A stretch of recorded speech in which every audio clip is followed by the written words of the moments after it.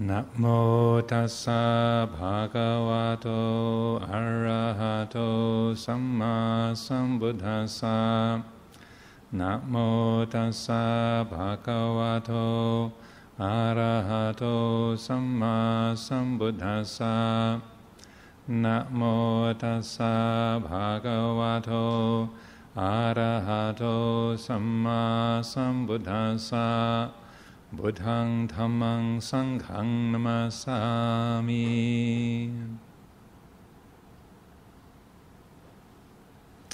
I'm very happy indeed to be back uh, here at uh, BIA, the Buddhadasa Indapanyo Archive, uh, once again. This is uh, a uh, regular venue uh, for myself when I come to, to Thailand. I usually am here twice a year, so I'm very happy to have this opportunity to spend an evening with you. And so the, this evening, uh, the Dhamma talk is in English, as you can tell. my English is uh, a thousand times better than my Thai. so I'm very uh, happy to be able to speak in my own uh, most f- familiar language.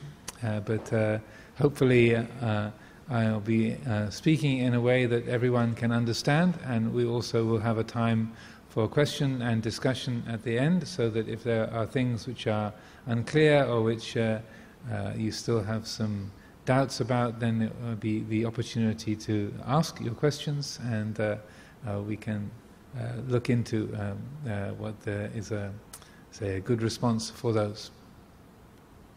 the theme for this evening is skillful leadership and how we might use the example of His Majesty, uh, His late Majesty King Bhumibol Adulyadej, who, uh, as everyone knows, passed away about two months ago. Uh, this was today is the 13th of uh, December. He passed away on the 13th of October of this year. So uh, two months have now gone by.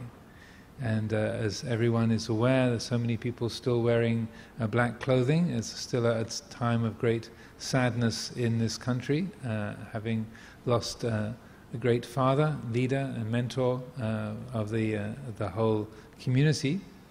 But uh, one of the, uh, the ways that the Buddha um, said just before his own passing away at the Parinibbana, when he was lying underneath the sala trees, it was a, a, a, apparently an amazing event in many, many ways.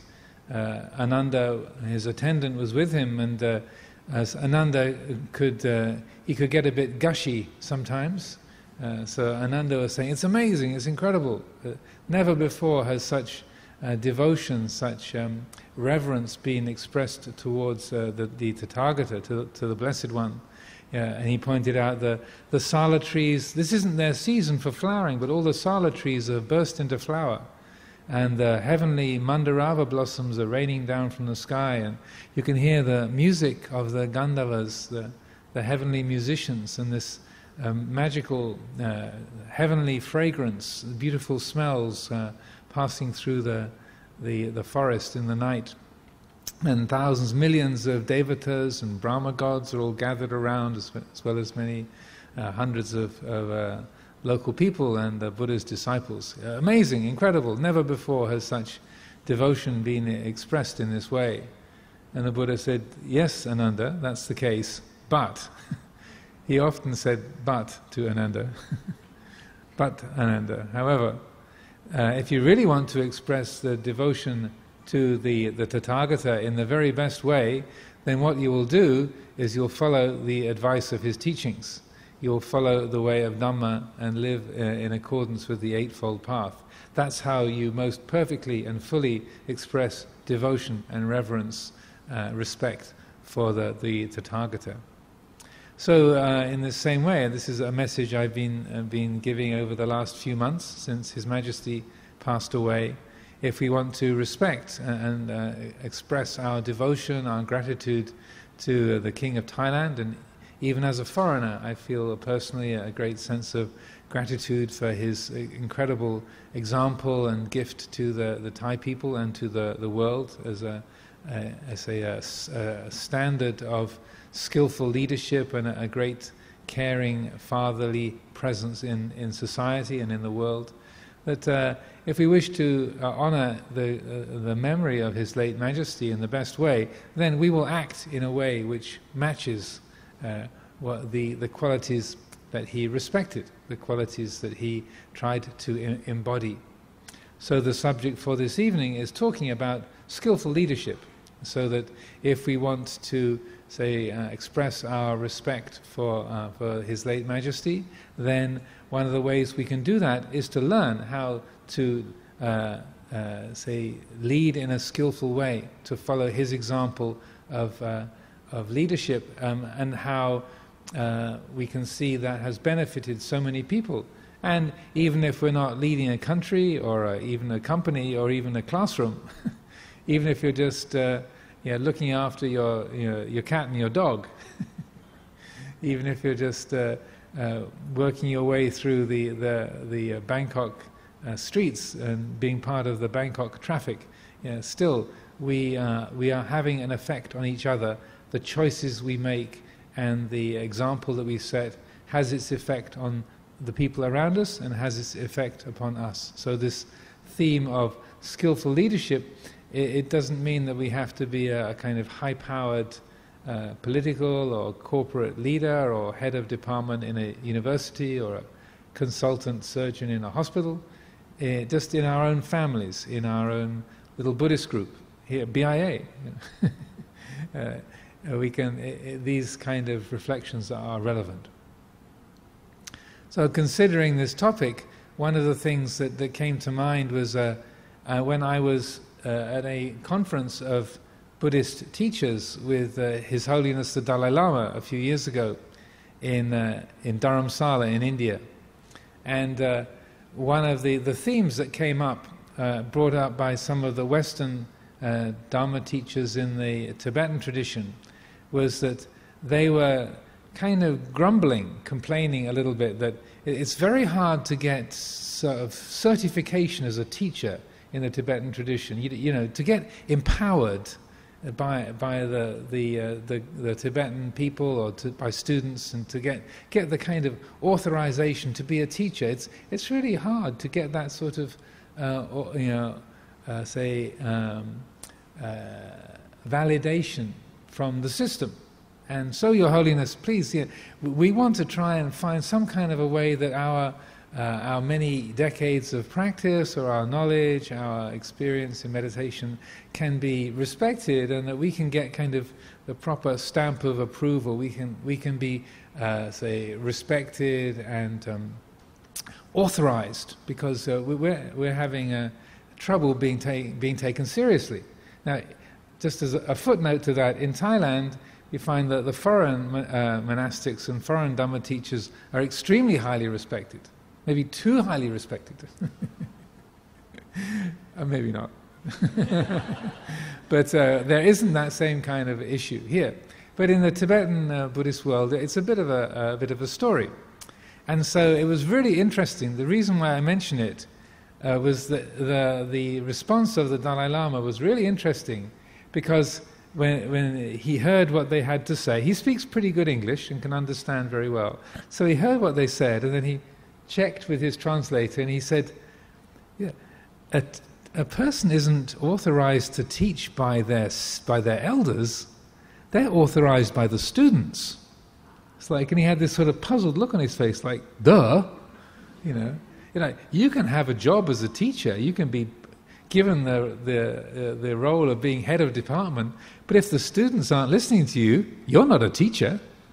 You know, might say that on your door, teacher, but if no one's listening, what kind of a teacher are you?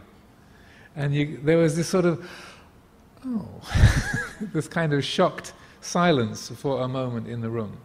And uh, so I felt that was an extremely good point that you can be officially a leader, I can be officially abbot of Amaravati Monastery, but if uh, no one of the nuns or monks or the lay people at Amaravati, if they're not listening to me, if they don't have any respect for me, then I'm kind of not really the abbot. you know, somebody else is fulfilling that role because uh, uh, I, am not in, in actuality leading. Because it comes from the interest, the faith, and the, the commitment of the people who are so, uh, quote unquote, being led. Kajaimai? So this is a really important, uh, a really important point. So you think, oh, great! So talk about leadership.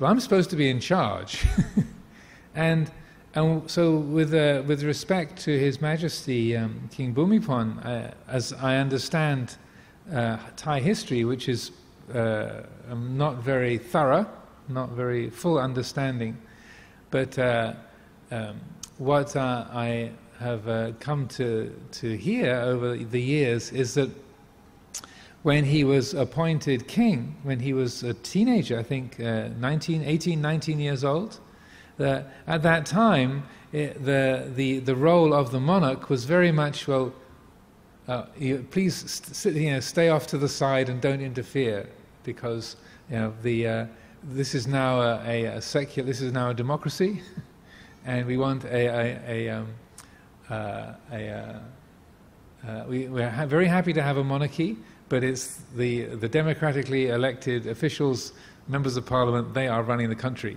Your Majesty. and so that the, uh, because it was a move away from the absolute monarchy that had been here in, in Thailand from ancient times up until the 1930s. So, uh, and I, I confess my knowledge of Thai history is not great, but this is how I understand it. But over the 70 years that uh, His Majesty was on the throne, he rose to a position of extremely powerful influence because of the love of the Thai people. I mean, there's maybe a few of you who are over 70 here, but most of you have lived your whole lives with uh, His Majesty King Bhumibol on the throne. So, uh, over that 70 years, he rose to a position of genuine leadership because of the love of the Thai people, because of the respect. He, and he earned that respect. So then he became a, a, a leader uh, because of the interest, the faith, and the commitment of the people. So I feel, in terms of, of uh, advice for our everyday lives, both the comments of the Dalai Lama and the example of His late Majesty King Bhumibol, uh, don't, don't believe what it says on the label on your door. If it says, you know, professor or you know, CEO or chief financial officer, it's just to, for us to remember, well, that's what it says on the label, on the number. but you know, is it really true? You know, am I leading in name or am, am I leading in actuality? Is it, uh, so this is a, a, a very uh, important thing. And you can't, uh, when I, I, heard that from the Dalai Lama, I really took it to heart because I realized, yeah, it's true. You can't command people to say, I'm the Ajahn, respect me. I'm in charge of this, this Dhamma teaching. You know, I'm running this retreat. I'm the head of this monastery. You have to respect me. Get on the floor. Bow down. they might, people might actually get on the floor and bow their heads, but while they're bowing, they're thinking, what an idiot. well, I'm, get, I'm going to get out of here as soon as I can because this, this, uh, this monk's a fool, or he's really conceited, or he really thinks he's something special. That's what happens within us, right? If you say, you've got to respect me, then if that's what's coming from the, the, the, uh, the your kind of professor or the, the, uh, the head of your, your company or your your grandparents, your, that, uh, that you can't command respect. It has to, to, be, uh, to be earned. And then uh, we, we then come to the advice that the, the Buddha gave about leadership and how that kind of genuine uh, love and respect and, and faith is, is earned, how that grows up.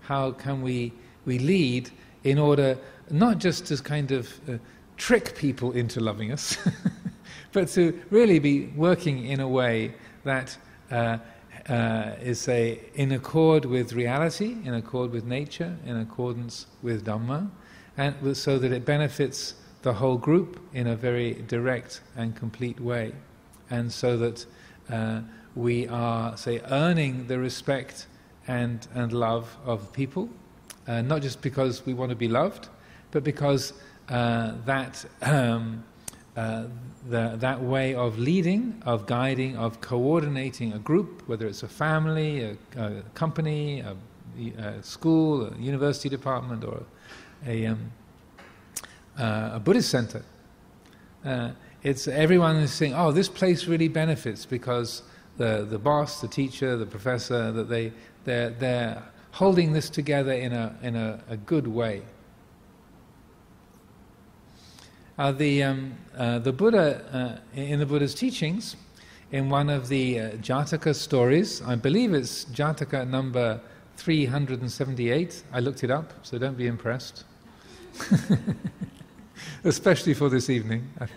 If I'm remembering correctly, it's number 378. Um, there's a, in one of the stories of the Buddha's previous lives, it spells out that a list of 10 qualities an effective and uh, good leader, uh, a good king uh, uh, will say, will follow. And it seems, I don't know if this is uh, the case, but I think it's highly likely that his, his late Majesty, King Bhumibol Adulyadej, uh, took these 10 qualities really to heart. And they are, they are listed in this very wonderful, useful book. I think it's down in the bookstore called A Constitution for Living by Tanchakun Payut, on a Tansondep Putako Sajan, he is now. He's one of those monks always being given new names. So this is a very wonderful book, Constitution for Living. And uh, these ten Rajadhammas are listed here. In this particular edition, you find them on page 27. So, in the chapter called A State Leader. So, if I, I uh, create a long list for you this evening and you can't remember all the words, then they're all in here, in this uh, Tanjakun Payut book. And it has many, many other useful things in terms of guidance for skillful living as a, as a, person in the world, in, in, your family, in the business, running a business, and uh, uh, living in society. So these, uh, I, I thought I would share these with you. Now, a list of ten is a lot of things to remember. So, also reflecting on this, I looked at them and, and saw that you could group them into three basic categories. So, these are the qualities that a, uh, a good, uh, say, uh, and the Buddha was uh, in the Buddha's teachings talking about a good king uh, leading the, the country and providing support for the well being of the whole society. So, I, I saw you could divide them into three, the, three basic categories. So the first one is the category of unselfishness. I'll just do it briefly first of all. First one is unselfishness. The second one is uh, the category of virtue. Uh, and the, the third category is that of kindness. So these are the so three areas. So unselfishness, virtue, and kindness. So that's, that's pretty easy to remember. so that in terms of uh, say, establishing uh, good standards for yourself in your, your home, your company, your, your uh, hospital, or wherever you work, or um, if you're uh, in any kind of leadership role. I would say these are the three areas to really uh, focus upon most, uh, mo- most completely. And I, looking through this, this list, I, I, could see that from what I know of His Majesty's life, he, he really did take these qualities to heart and worked very hard to use these as the standard to guide his actions and his way of speaking, of working, of relating to uh, the, the, society uh, as a whole. So the, the, uh, uh, the, the, good to go through these in a bit more detail, and again I've got them written down because I can't remember them all. Some of them are, are somewhat unusual Pali words. So the the, uh, the first one's on unselfishness. The first one is very familiar, is dana, generosity. So being ready to give, to be, um, to be ready to, to share the, the things that you have, to be one who is generous, dana. Uh, then the, the second one is parichaga. So parichaga means self-sacrifice, meaning to to put aside what's uh, your convenience for the sake of uh, the benefit uh, of others. So, like you could see for um, many, many films, pictures of His Majesty trekking around through the through the jangwats uh, out in the countryside with his with his map and a camera around his neck, and and uh, people trailing along behind, and uh, going through the uh, the forests and over the hillsides, looking for places to make uh, reservoirs and put in water channels and help, uh, uh, say, development projects uh, out in the, the countryside. Uh, uh, and there's that famous photograph of him with a drip of sweat kind of running off the end of his nose out in the heat. And always happy to meet the crowds of villagers and spending time to, to receive their gifts of flowers and good wishes. And so, yeah, you, a king doesn't have to, be out, being uh, be out baked by the sun and climbing through the hills, but uh, he chose to to uh, regularly uh, say uh, sacrifice his own convenience, his own comfort uh, for the the benefit of the people, because he knew that he's interested. again, rather like the Dalai Lama, he said, "If I wasn't a monk, I'd be an engineer."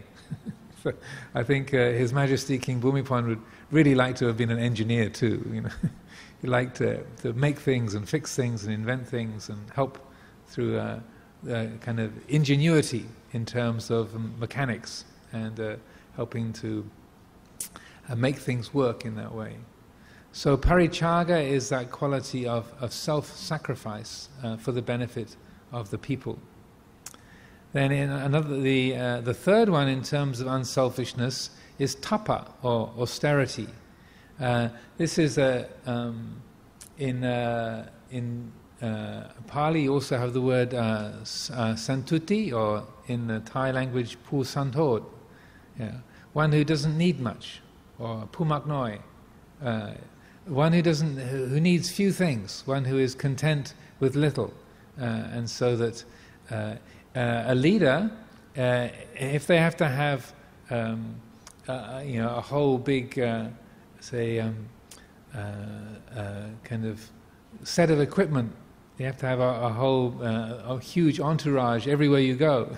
You need a whole lot of things to make you happy. It doesn't set a very good example. But to be one who is uh, not just unselfish, but also personally, you don't need a lot to be to be content. You can be a pumak noi, one who is. Uh, if things go your way, you're, you're, you're happy. If things don't go your way, you're also happy. Say, okay, it'd be nice to, to, uh, to be uh, in a vehicle with aircon, but if the air conditioning isn't working, maybe right.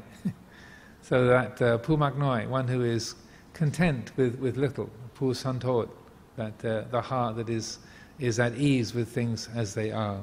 Then uh, the the fourth one of these qualities of unselfishness is uh, is uh, in a way probably the most important of them, and that is the quality of kanti, or patience, being patient. So uh, the the nature of the roads in Bangkok are a great teacher of uh, opportunities for kanti parami, uh, because sometimes you sit in the car and you don't go anywhere. And you can, you can take that as an opportunity to practice meditation, since you're sitting still.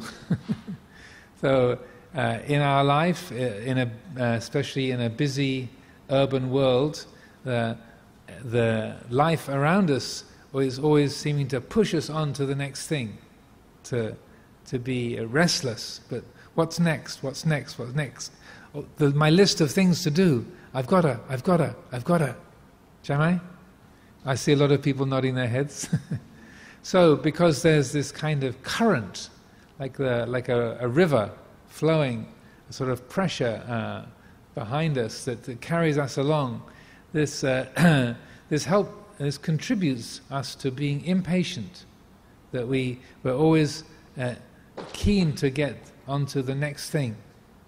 And particularly when things are uncomfortable or difficult, uh, when we have a pain in the body, or we're in a, a, difficult conversation, or we need to go to the bathroom, that uh, we are, uh, oh, I want this to be over, then I can be comfortable. I'm hungry, I need something to eat, I'm tired, I could just have a nap.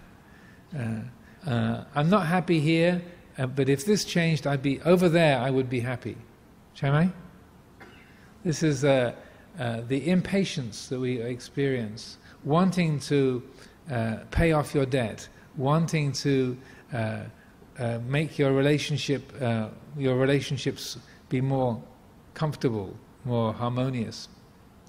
Think, oh, when I've finally got the divorce settled, then I'll be happy.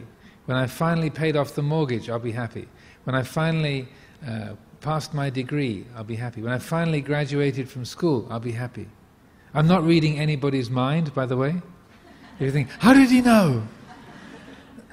it's not. It's not abhinihan. It's statistics. It's just how we are as human beings. So I'm not. I, I have no abhinihan. I cannot read people's minds, but I can read statistics. That's how we are. Yeah? So kanti, uh, to be patient. And uh, I was talking about this the other day. And uh, again, I'm not that familiar with Thai history, Thai politics, but sometimes I got the feeling uh, uh, with uh, uh, reading the reports or comments of His Majesty over the years, seeing so many governments you know, arising, passing, arising, passing, so many prime ministers arising, passing, arising, passing, so many uh, conflicts on the streets in, in Thailand, you could. Uh, I, I, can't be sure what uh, what His Majesty was feeling, but sometimes I felt there was a lot of Kanti Barami being built, like. the uh, arguing again, fighting again. Okay, another government. Okay. I feel also the Queen of England. Uh, she must have a similarly many opportunities for developing patience. And so the khanti is a really important quality. Now, uh, patience is not just about gritting your teeth, like, okay, it'll be over soon, you know. Uh, and pa- true patience is not just being tough and waiting, because if you're waiting, you're still suffering. Uh, if, you're, if there's a feeling of, when this is over, then I'll be happy.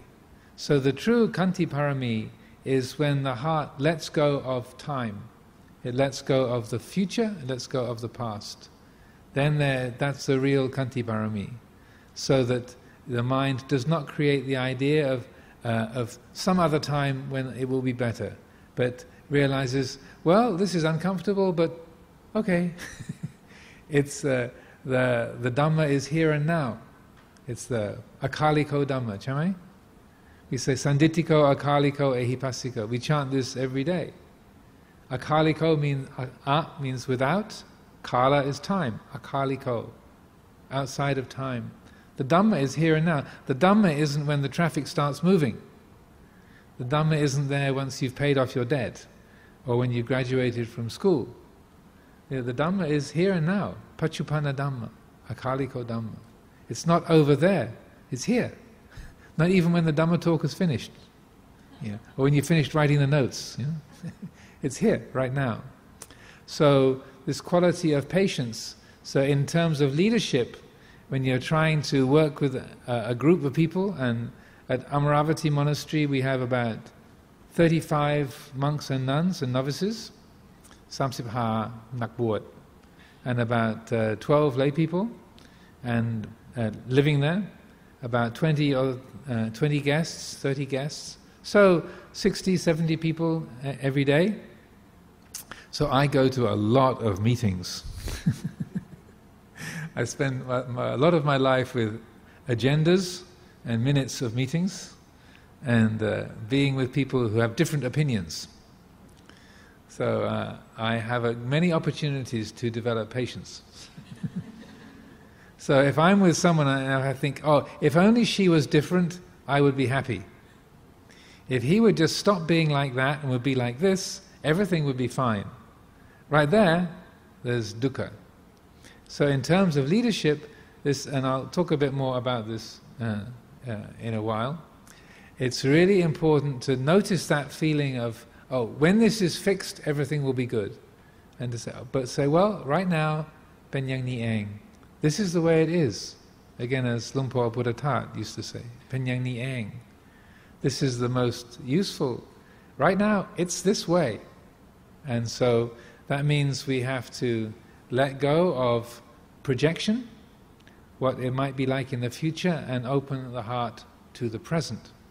And that is uh, a quality of listening, opening up to the present. So even if I think, if only he was different, I would be happy, then like it becomes more important to let go of how I think this person should be, and instead to listen, to be open to how they are. Then that also helps things to change. So then the, the next uh, two qualities in the uh, virtue section, uh, my, this is kind of just my own divisions of the ten Rajadhammas. I just kind of made this up yesterday, actually. so in the, but in the virtue section, you have sila, sin, which people are very familiar with. So the, a good leader should be uh, living according to the precepts uh, and setting a, a, good example in that way. Uh, so that is a, a, very familiar term to us. But uh, uh, another of the, the qualities that are listed in the ten Rajadhammas is Ajjava. Ajjava. I'm not sure what the Thai equivalent is. Ajjava in Pali. Long A, J J A V A, Ajjava. And uh, this means integrity uh, or, or, honesty or satya. So it's a, a, a, dedication to truthfulness. So it's not just, um, say, keeping the precepts, but in a, in a way it's the gunatam, the actual quality of virtue in your heart. So as it uh, says about uh, the, the Buddha in the teachings, that from the time of the Buddha's enlightenment until the parinibbana, uh, every word that he spoke was true, was, was uh, in accordance with reality. Yeah, every action that he took was, uh, was uh, say, in accordance with, with Dhamma and was based on kindness and wisdom, mindfulness. And so that this quality of ajjava is really important because it's, it's that kind of uh, as you think, so you speak, as you speak, so you think, as you speak, so you do, as you do, so you speak. So you don't just tell one story to this person and tell an opposite, uh, opposite story to someone else. That you are you're honest uh, and uh, straightforward. You don't deceive or use your speech to divide people. You're not using your speech uh, to to backbite or cause division, but rather you, the words you, you use are uh, to, div- to divide people. Maybe someone says something to you that, that um, they have an opinion you really don't like. Say you're in a meeting, uh, you're in your hospital administration, or in your, um, in your home, or in your company boardroom, and uh, somebody expresses an opinion, you think, he's an idiot how can he possibly think that's, that's sensible? And you feel in your heart, that is completely crazy. The man, it's an idiotic opinion. So uh, something in us might like to say, well, thank you for sharing that. That's very interesting. and that's one way we can respond. But also sometimes we can, uh, we can say that and not be that honest. So ajjava is to say, uh, to recognize, well, um, I, I, hear what you say, and um, I'm really trying to, I'm finding it hard to understand how that could be useful. So please, uh, you know, explain a little bit better why you think that's a good idea. Because to be honest, when I hear that, uh, my mind says he's crazy. so I, I have respect for you. I think you're a fine person, but so I'm really interested as to why this thing that you're saying seems so crazy to me. Kajamai? So that sounds maybe a bit too complicated, but it's being true to what you feel. And uh, for many years, for, for 13, 14 years, I was leading uh, Abhayagiri monastery with uh, uh, uh Luang Por Pasanno. So we were co-abbots together. Yeah, it's like a, a um, uh, a, uh, a two-headed beast. so uh, uh, Lumpur Mahaprasad, who is the abbot at Wat Buddhanusorn nearby, he said, you know, in Thailand, in Thailand they say you can't have two tigers living in the same cave. But Ajahn Pasanno and Ajahn Amaro, they prove that you can. so we, we got on very well together. Now, I, I, I find it unfortunately easy to not be truthful.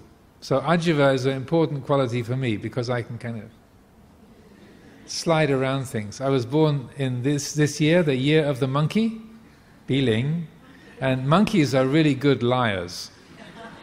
Sorry, are other monkeys here? But uh, uh, the monkeys I know are pretty good liars. So that's a very bad skill to have. So uh, unfortunately, it's a well-developed skill. And I really respected Luang Por Pasanno so much because when we would be in a meeting or with the Sangha members and, and somebody would say something and you think, that's really stupid or I don't like that or uh, and when I would, I would say something like, oh, well that's interesting and, uh, and Ajahn Pasanno would just say, I don't like that at all. and I feel like, thank you, thank you, thank you. So uh, I learned a lot from uh, his quality of uh, ajjava because it's a uh, that sense of being true, uh, being being honest, and uh, uh, say your thoughts and your your words and your actions they all match each other, they all fit together, and they they match what is natural and what is real. So earlier today they were asking me to give a little. Um, three minute uh, speech to the camera for a, a, a New Year message. Uh, so I did one in English and one in Thai, and, and so I was speaking about ajiva also in terms of. Uh, they say, well, what would be a really, what's the most useful of these ten Rajadhammas for people of Thailand?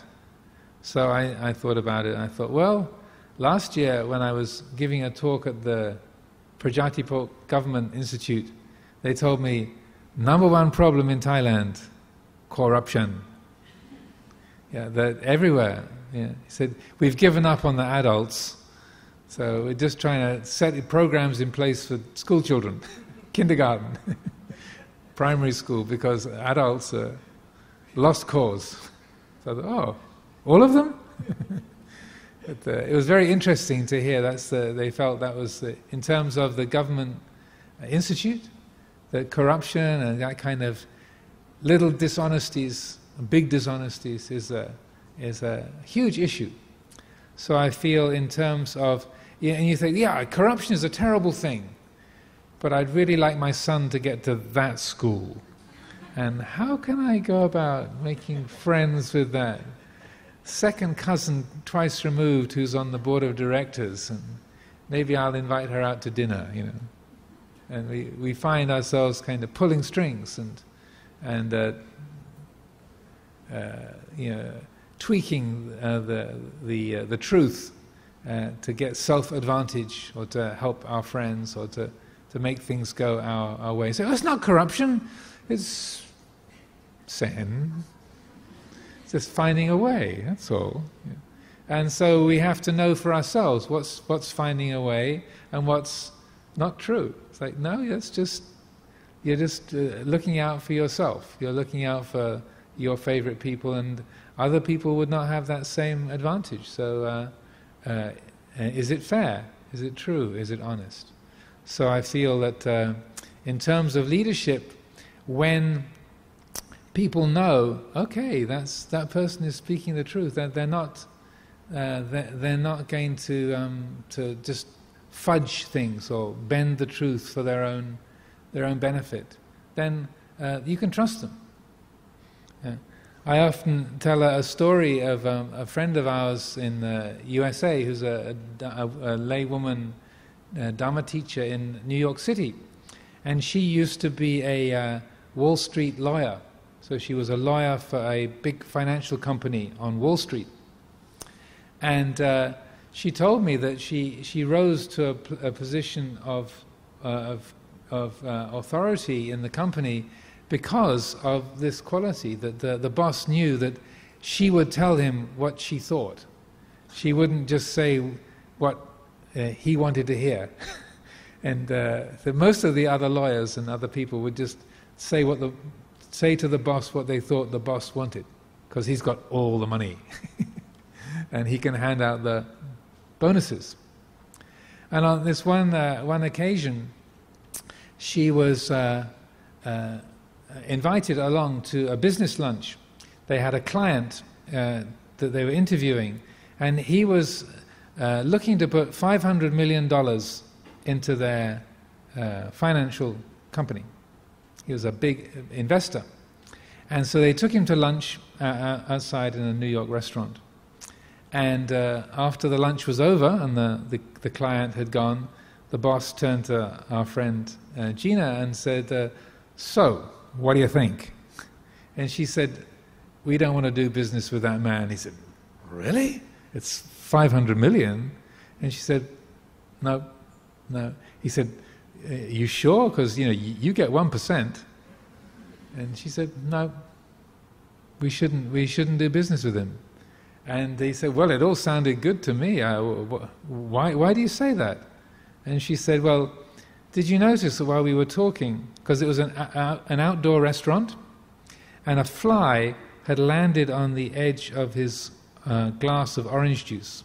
He drank all the juice, and there was just like a little bit of juice in the bottom of the glass. And as they were talking, he'd taken the straw and knocked the fly down into the liquid, into the juice. And then he put the straw down and held the fly down while it drowned, while they were talking. And she said, Did you see him do that? he said, Yeah, actually I did. That was kind of weird, wasn't it? And she said, That's why we don't want to do business with that kind of a guy. And he said, Okay. So uh, there's a, a, woman who turned down a $5 million bonus. Yeah, she was the lawyer, she would have run the contract, and she would have been part of the deal. She, she turned down $5 million for the sake of a fly. So then that, uh, that's why her boss could trust her. that he, he knew she wasn't just going to say something for, uh, just to please people. So uh, then the last four qualities are about metta karuna, about uh, kindness and uh, gentleness. So uh, the first of these is maddava, maddava, which means uh, like a, a, heart, like jai, jai pao pao, a heart which is gentle, so that you are, uh, even though you might be a powerful person, you might have a lot of authority, you'll still look out for, for everybody. You're still not to sort of throw your weight around or expect everyone to just kind of tidy up after you, but you're, you're uh, uh, acting with respect and gentleness, kindness, and, and uh, say attentiveness to the, the people that, that you work with. That you are speaking in a way that is, um, is a uh, is true and straightforward, but also is respectful of other people's feelings. So, like when you have that, that uh, discussion and you think, she's crazy, that's a really stupid idea. you think, you employ the maddava, like, now how can I put this that won't make her fall apart? You know, I'm the big boss, you know, I carry a lot of weight, or in the monastery, you know, I'm the abbot, so now how can I tell that novice that what, he's, what he wants to do is really, really stupid. and what, how can I put that so it won't upset him or make him feel hurt? So maddava is that gentleness. The next quality is uh. Akkodha, uh, koda is glot in uh, Thai, so anger or wrath. So akkodha is not acting in an angry way. So just as uh, His Majesty was very, very gentle, you see many of these uh, pictures of him kind of uh, uh talking with, uh, with uh, his mother or talking with old people in the villages, kind of with this kind of kindness and sort of receiving their wai or their flowers from them. So then, akkodha is to be free of anger, not uh, dealing with your difficulties or opposition uh, by getting angry, getting uh, uh full of wrath. It doesn't mean that you pretend that you you uh, you don't like things, or it doesn't mean that you can't speak loudly sometimes. When your your child is about to run out into the road and get hit by a car, it's appropriate to shout or grab the back of the shirt and pull. You know, like, because you love the child, you want to, to, to, to save them. So you think, stop! That, that's not anger, that's wisdom. Yeah, so sometimes, gently, you know, that we, we need to, to express ourselves in a loud voice or act in a strong way, but to, uh, to free that, to not, to not act from a place of anger is a very important in terms of leadership. So then the, um, the last two are avirodhana. So avirodhana means uh, non-contention, so uh, or non-opposition. So non-contention means when somebody has a different opinion to you, then you you uh, you don't turn it into me and them, or me against you. I'm right, you're wrong. Even if I am right and you are wrong, then they think, but I'm right. You've got all the facts on your side. You know all the information, uh, and what the, the other person wants to do is is not going to work, or you think is is uh, say not helpful, or is selfish, or then uh, to, uh, to develop the attitude of avirodhana is, well, how can this be held so it's us working towards a solution rather than me against them? So it turns the, that sort of uh, me and you into us. So it's a way of establishing an attitude of collaboration rather than opposition, forcing people to do things your way. Like my experience of running monasteries, you know, the abbots any abbot who tries to be a control freak, do you have that, use that word over here? Control freak? Uh, any abbot who wants to control everybody in the monastery has a lot of suffering. and they don't sleep easily at night because life cannot be controlled. And so, um, the, this quality of avirodhana uh, is not being a control freak. So, in terms of leadership, uh, rather than trying to control everyone, you, uh, uh, you instead bring people together and help them to say, well, what's going to be for our benefit? Okay, we've got different opinions here, we've got different views here. So, how can we work with these different perspectives and all come to a place where we feel uh, okay? And as they say, uh, if both parties walk away from a deal thinking, well, that was a bit disappointing, but okay, then you probably found the right balance.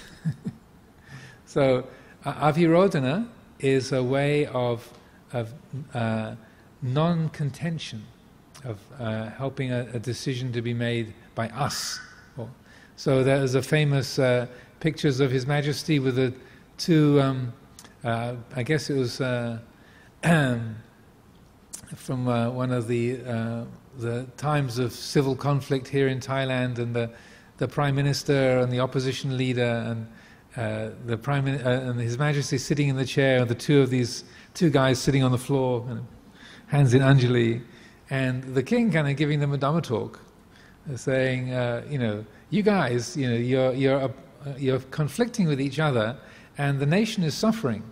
So you need to really look at your priorities, look at your values, look at the, the welfare of the people, and consider how can I work with my own feeling of rightness and adapt it so that we're all working together for the benefit of the nation. So this is a good example of avirodhana, so that you're, uh, uh, when you're in a position of leadership, even though you might feel like, just, just obey me, just, just do what I say and shut up there might be that feeling, but my personal experience is if you follow that, suffering comes immediately after, often very, very soon after.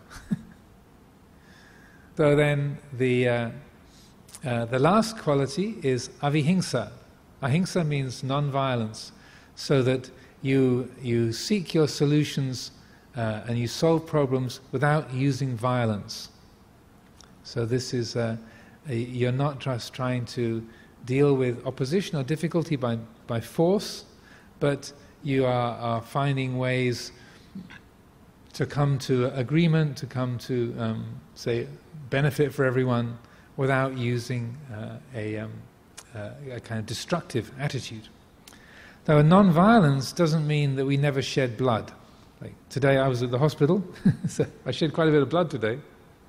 So, doctor, there's a few doctors here, I'm sure, shed blood quite often, right? Uh, doctors uh, exercise violence, but they do it very, very carefully. they carry out operations with anesthetics, so there, uh, there is bloodshed, there is pain caused when you go to a dentist. There, but it's, uh, it's done with precision, with care, and with loving kindness. So, avihingsa doesn't mean to say that we never fire anybody. I've had to, I've had to throw people out of the monastery. Uh, I, I don't like to do it. It's, it's like when you see this person's had a role in the monastery, they've had a position of authority, and you realize this is really not working. A lot of people are suffering because of that person's um, activity in this monastery. They have to go. Okay, how do we work this? So avihingsa is like you don't just call them in and say, "You got to go," but you you consider, okay, now how can we respect what this person has given? How can we respect their feelings? And how can we help them to willingly step down from that role and leave it to someone else? Because for them to carry on, everyone is losing. It's not good for them, it's not good for the whole group.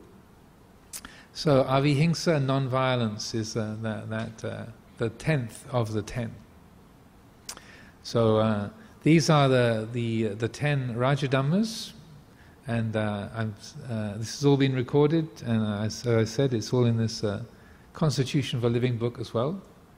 But add a, a, few small points just to not be going through a list. uh, one of the the the, uh, the, things I was saying was how if we try to control everything, if you think I'm supposed to be in charge, I, am the leader here. I'm I'm in charge. It says it on the door. You know, I'm the head of department. Yeah, I'm the know, I'm the ruler. I'm the I'm the abbot. Know, I'm the yeah, I'm the CEO. Yeah, I'm the consultant. Uh, then if we try to control everything, then we suffer. So I also I, I take advice from uh, one of the ancient Chinese uh, texts of Fu uh, in the um, in uh, in his uh, in his teachings. I think it was no, no, it wasn't. It was sorry, excuse me. It was the uh, Lao Tzu in the Tao Te Ching. He says, "Governing a country is like frying a small fish." So, excuse any vegetarians here, please excuse me. So. But that's what it says in the text. Governing a country is like frying a small fish. You ruin it with too much poking. So, if you kind of move it around try to do, try to get too fussy or too controlling, the, it all breaks up. So uh, that's uh, one of the, the principles I use for running Amaravati Monastery. I don't run it. I, let, I try to let it run itself. Secondly, I talked about listening. So when you want to, to work with a group of people, the main thing to do is to listen to them. If I already have an agenda, a list, okay, I want this, this, this, this, and this result. That's what I want. You might have that list, but if, you, if you're wise, you'll think, well, that's my list. Let's go to the meeting and see what happens. And so, uh, leadership, mysteriously, comes a lot from receptivity, that you have to listen. When, when I first came to Amaravati in 2010, this time around, there was a lot of upset in the community, and Luang Por Sumedho was stepping down, and there was been a lot of conflict and difficulty. And so I'm the new guy. I'm sort of coming in from 15 years in California, and I'm a stranger to most of the people there. And so I realized if I just come in and say, okay, I'm in charge now, yeah. okay, now I, am the abbot, you know, please bow here, yeah. but that's not going to work. so uh, during the first Pansa there in 2010, I sat down with everybody in the community, all of the, the nuns, the monks, the novices, the lay people, everybody from the top to the bottom uh, for an hour, two hours, with every single person, one by one, just to meet them and listen to them without telling anybody what to do. just to, to say, who's here? I'm, my name is Abbott. That's what they're calling me, but I, I have to know who I'm working with. So if you're coming into a position of leadership, I would suggest uh, that that that's, that was a, that worked very well for me and for, I think for the community. I'm still there. they haven't had a coup yet, at least as far as I know. I checked this morning. so the uh, I, I would recommend that to to listen to the people that you're supposed to be the leader of, and then when people are heard and received as they are and not being judged as who you think they should be, then you form a connection. Once there's a connection, then you can you can actually lead them from a, a position of of uh, connectedness.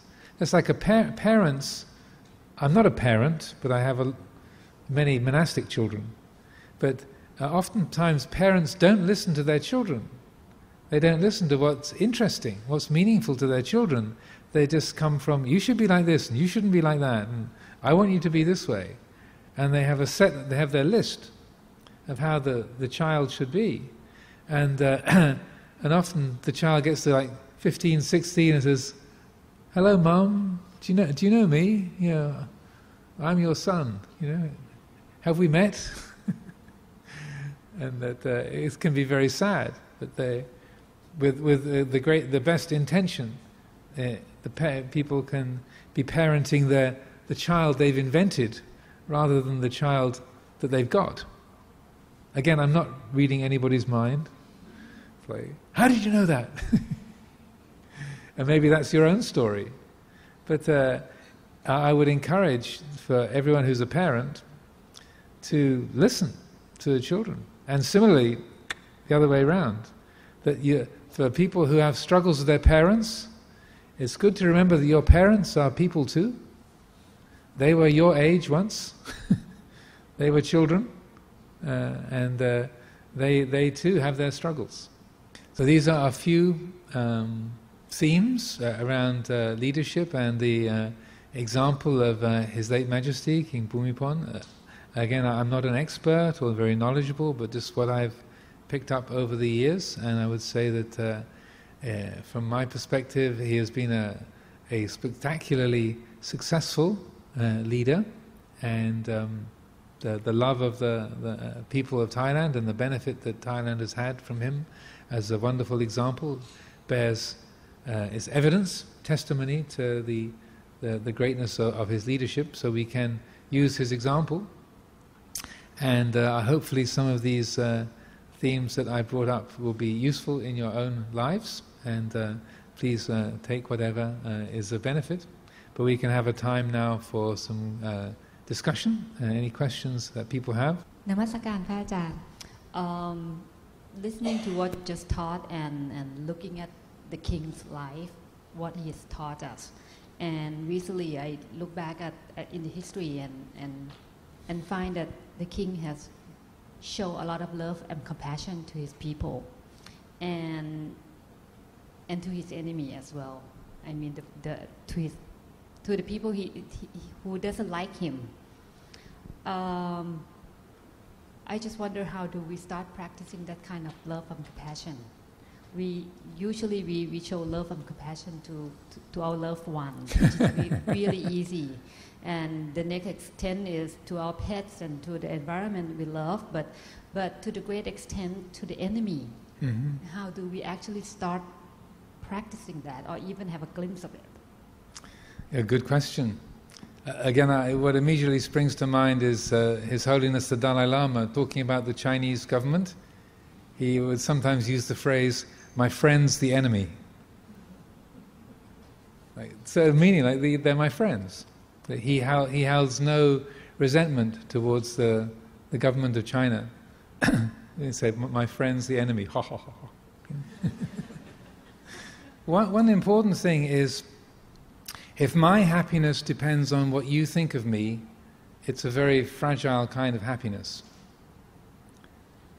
So, the, the kind of happiness of the Buddha is a happiness that is, uh, is attuned to the way things are, but it's not reliant on things being in any particular way.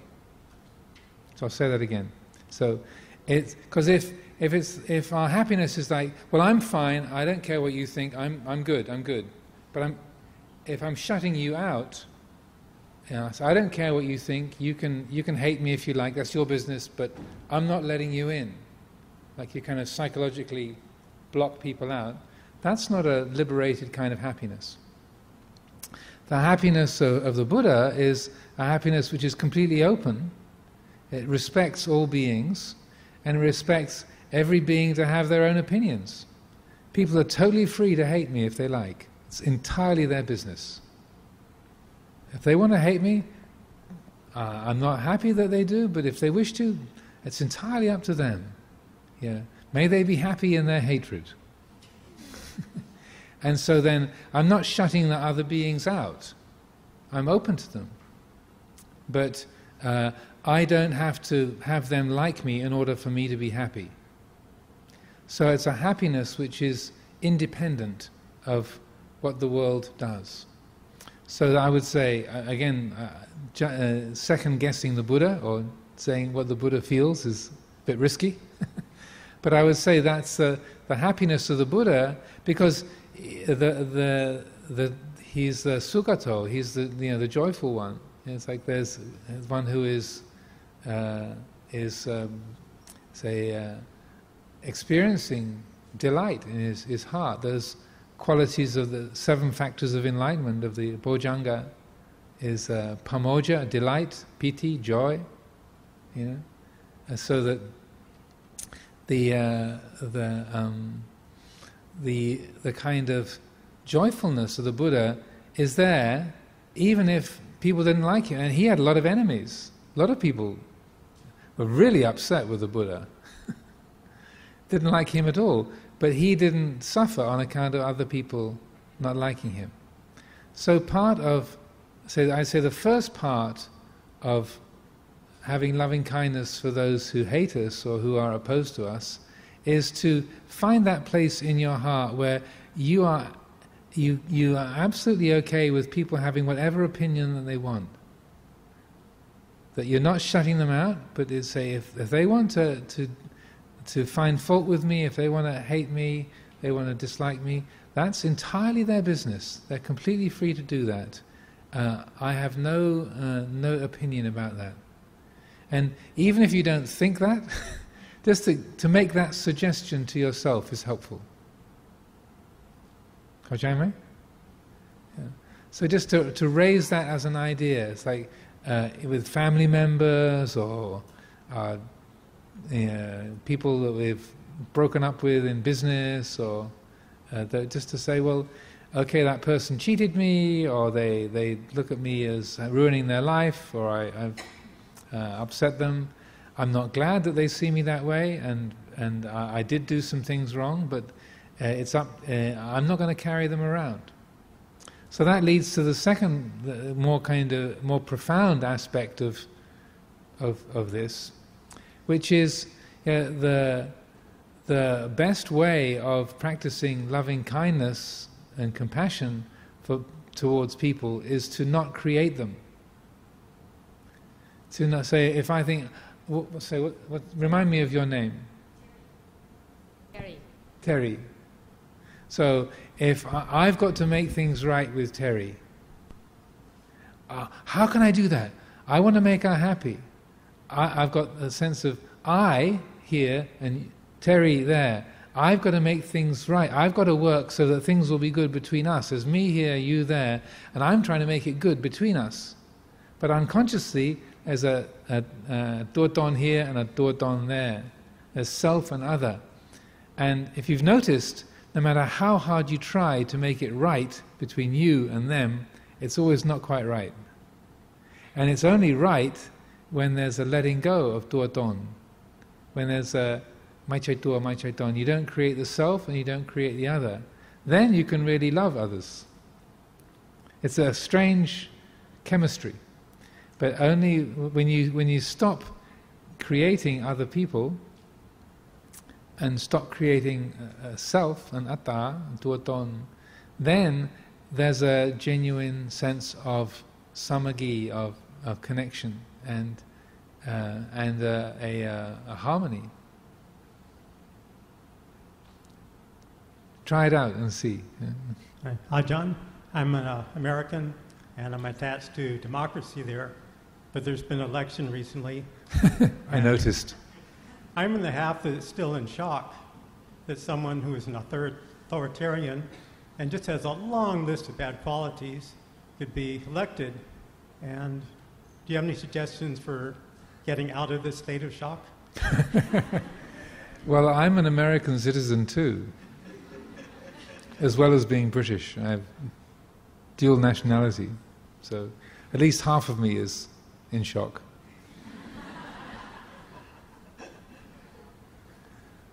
well, the um, uh, is uh, what comes to mind is a. Um, I mean, there's there's all sorts of different approaches.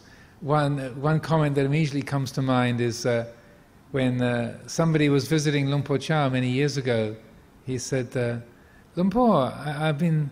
Uh, I've been staying here for a few days and listening to you giving teachings and answering questions, and I notice you never talk about politics. And he said, I only talk about things that have an end. Politics have no end, so I don't talk about it.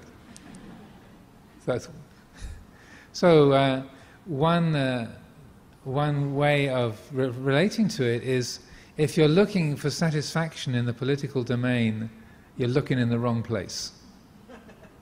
It's, it, poli- the political realm is unsatisfactory.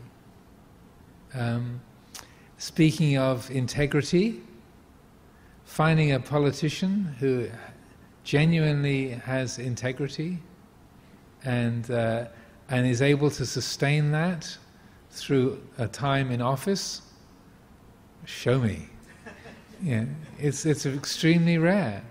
Yeah, the, the Buddha himself, when he, there's an interesting little interlude where he's sitting up in the mount, in the Himalayas, meditating by himself. It's one of the very rare suttas where it's the Buddha uh, speaking about his own internal reflection. He's not dialoguing with anybody. It's just what was going on in his own mind. And he was sitting up in the, in the mountains, and then uh, the thought came to his mind I wonder if you could govern in a way that was completely in accordance with Dhamma. I wonder if you could do that. And then, of course, Mara came to him and said, yeah, Of course you could. I mean, someone of your talents, you know, you're so intelligent, so gifted, you know, you could do it, absolutely. Well, something like that. Yeah. And then, uh, then the Buddha reflected said, No. you know, even with all of those, uh, what I was saying about the, the ten Rajadhammas that you have there in the Jataka, that what, in that particular sutta, the Buddha reflected if you're a leader, you have to, to um, sequester property, you have to seize people's property, you have to put people in prison, you have to fight wars to protect your borders. You know, it, it's, it's impossible to, uh, to govern and to, to really uh, live a hundred percent in accordance with, with Dhamma. You can't, it can't be done. And so he, he chose the, the, the, the, um, the track of say, providing the, the means for uh, bringing the influence of Dhamma into society in the most complete and, and full way through a kind of um, through the, the, monastic community, through the, the Sangha, to establish a, a, a, group of human beings living together to, to provide an environment for living as harmoniously and as simply, as harmlessly as possible. So, um, the, uh, uh, the American politics is, is the kind of the feeling, I, the gut feeling I have is like a kind of reality show gone, yeah, gone rogue. and that uh, it's it's sort of hard to believe uh, how things have been unfolding, but you know, that's, the world. So similarly in Britain, I, you know, I live in the UK, and so when they they uh, the vote for the Brexit, you know, for the UK to leave the the European community came through. It was similarly, even Boris Johnson looked like he'd just been hit in the guts by a baseball bat. he, he couldn't believe it, and didn't look, he, even he didn't look very happy with the result. So it, I think it's, it's important to recognize sometimes that there's great turbulence in society. Sometimes the, the group makes weird decisions and peop, re, real people are really hurt. You know, uh, lives are lost. Um, uh, uh, there's damage caused by those choices. But still, it's helpful to, to recognize that, that things create their opposites in the way that nature works. And often when things lurch strongly in one direction, then they, they produce a, a, uh, a, a strong force in the opposite direction in return. So um, the, I feel the most important thing is to be using that sense of shock and, uh, and uh, taking that kind of feeling of difficulty or awkwardness or dislocation and using it to help yourself wake up. Okay, what can I do today, now, to help bring more sanity into my world, uh, to the, the people that I'm in contact with? What can I do to contribute to clarity, to honesty, to integrity, to fairness? Um, rather than just complaining about the problem, to what extent can I embody a solution? And uh, they, they, you know, that, that kind of truism, be the change that you want to happen. So how can I, uh, uh, say, bring into the world something that is a contrast to that? And so that, that's, uh, I feel, uh, is, uh, is the, the best way. Because also, it's it, one of the main principles of the Sangha is not taking sides politically. So I'm not kind of pro uh, pro Clinton and anti Trump, or pro uh, Johnson or anti uh, Farage, or whatever. You know, that the, it's important that the Sangha doesn't take sides, or rather, we take sides with Buddha Dhamma Sangha, uh, so that people of, of, all political persuasions are, welcome, and that uh, so that when people feel you know, excited and and uh, enthusiastic because their team won then the Sangha is there to help them kind of process their success and their happiness and not get drunk on it. and when people are feeling shocked and dismayed, after the, the Brexit vote, there was a lot of collective shock, but other people were saying, yes! And they often side by side in the sala at Amaravati. It's like, it's interesting. so it's important that the, the, the way we live and practice, we respect our own feelings but we're also uh, uh, like saying uh, respecting other people's opinions. Like it's entirely their business so if they want to vote for Trump or for Clinton or for for, uh, for the uh, for Boris Johnson. You know, the, that uh, it's, it's entirely their business. I don't have to to approve of someone or disapprove of them based on their political feelings. I can instead relate to them as a human being, and and the more that we say, take a human centered perspective. We don't just react blindly to an opinion somebody expresses. But like I was saying about, about being in a meeting and say, well, somebody can say, well, I think it's so great that, that um, uh, you know, Donald Trump is going to get impeached. Yeah, isn't that marvelous? And you say, well, um, yeah, that's an interesting opinion. yeah, yeah uh, I, am uh, I'm curious to hear what makes you say that. We?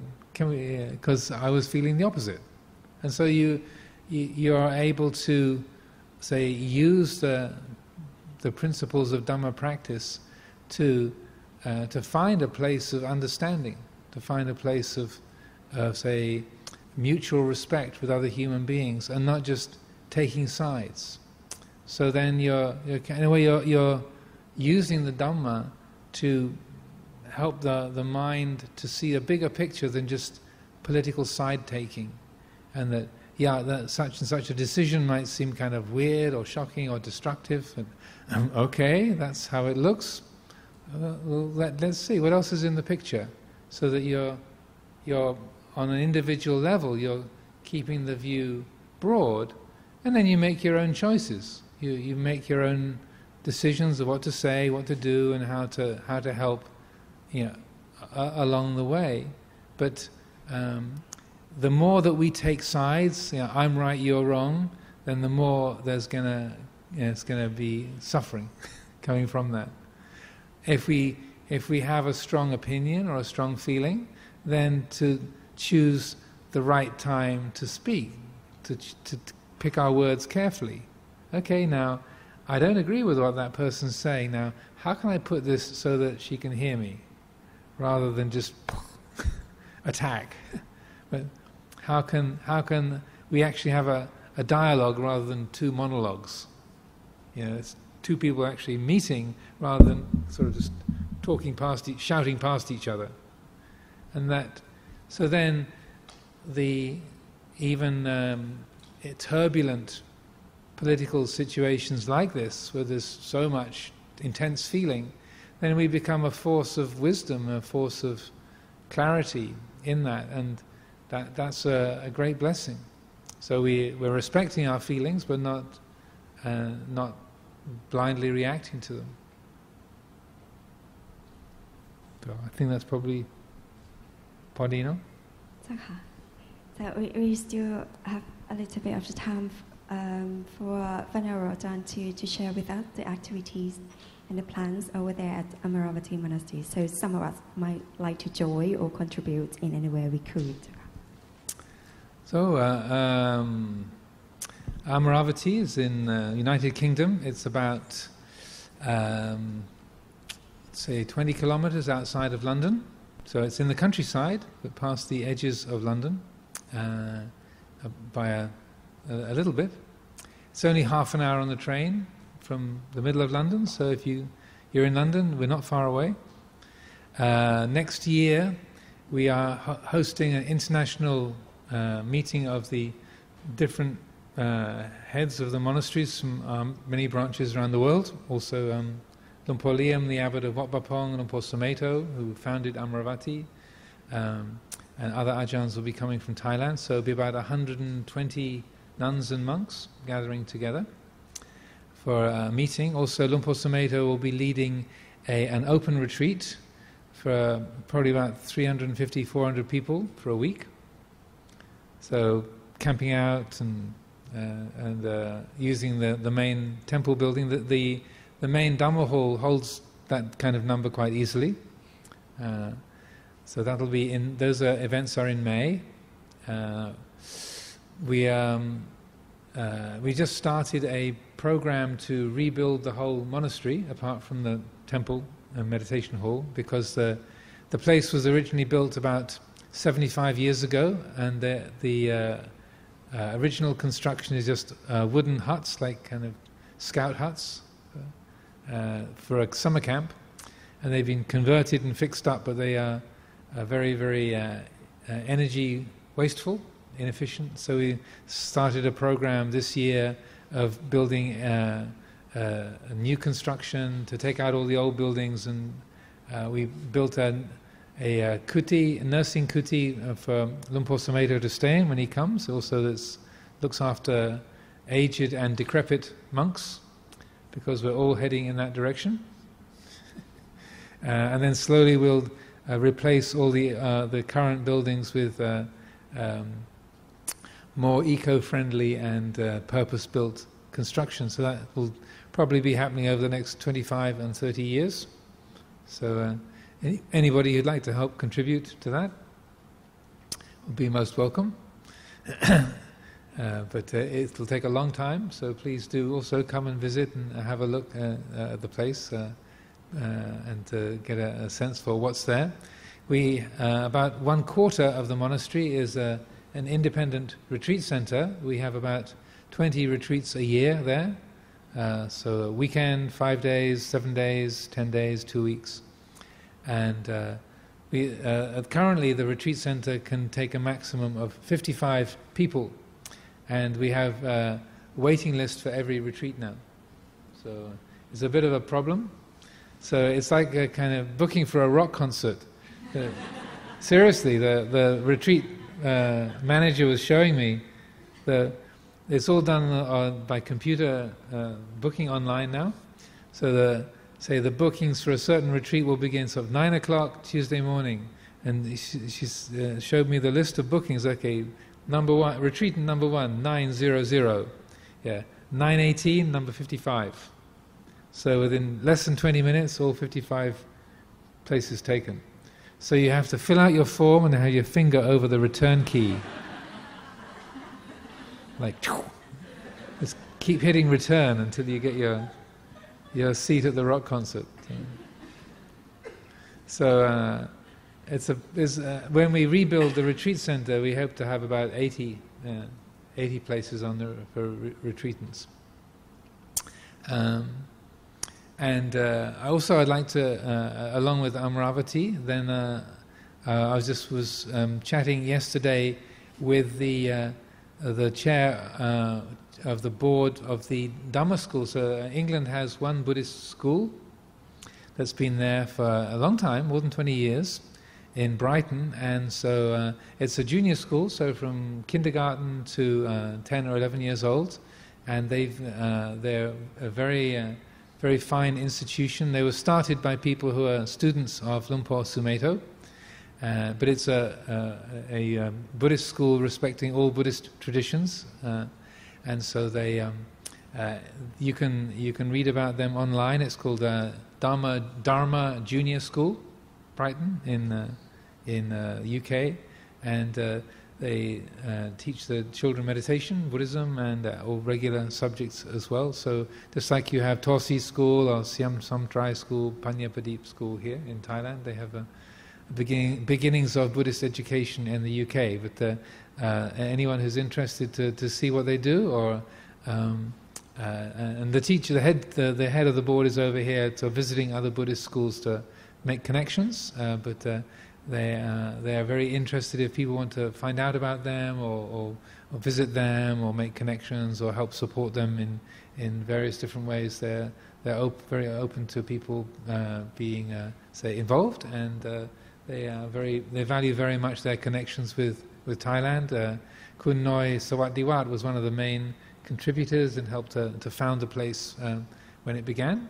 And, uh, but it's not solely li- linked to, to, Thailand, but um, just because I was speaking with the, the chair yesterday, she was, um, uh, I thought it might be nice to let people know that that's, that's happening there in the UK, and you've got little kind of Farang Tainis practicing meditation as well as uh, over here in Thailand. Um, so please uh, don't all come at once. Well, you can actually. Amaravati is a big place, but uh, please do come and visit.